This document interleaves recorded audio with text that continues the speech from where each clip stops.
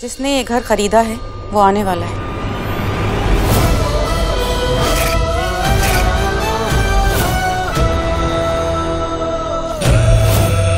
मैं सच में आपके पोते जैसा दिखता है। क्या मैं आपको दादी बुला सकता है? कहाँ जा रहा है? एक दिन के अंदर अंदर इस घर को और उस पुड़िया का दिल दोनों ले लिया।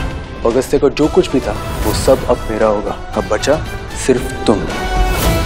चौधरी के घर को अब खरीदने आ रहा है कोई। और सोनाली इस बात का ऐलान करती है और सभी इंतज़ार कर रहे हैं कि आखिर वो कौन है। और फिर आता है सूरज। और सब चौंक जाते हैं अगस्त्या की हम शक्ल को देख। हु बहू दादी का पोता, जो उन्हें जाकर बोलता है कि क्या वो उन्हें दादी बुला सकता है?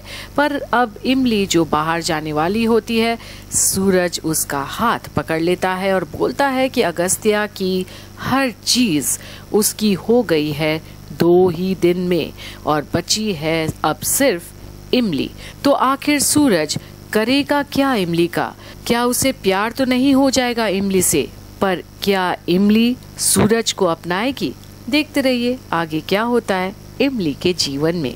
जिसने ये घर खरीदा है वो आने वाला है।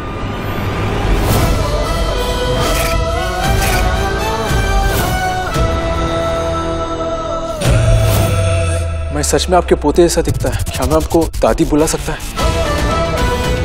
कहाँ जा रहा है? एक दिन के अंदर अंदर इस घर को और उस पुड़िया का दिल दोनों ले लिया। अगस्त्य का जो कुछ भी था, वो सब अब मेरा होगा। अब बचा सिर्फ़ तुम।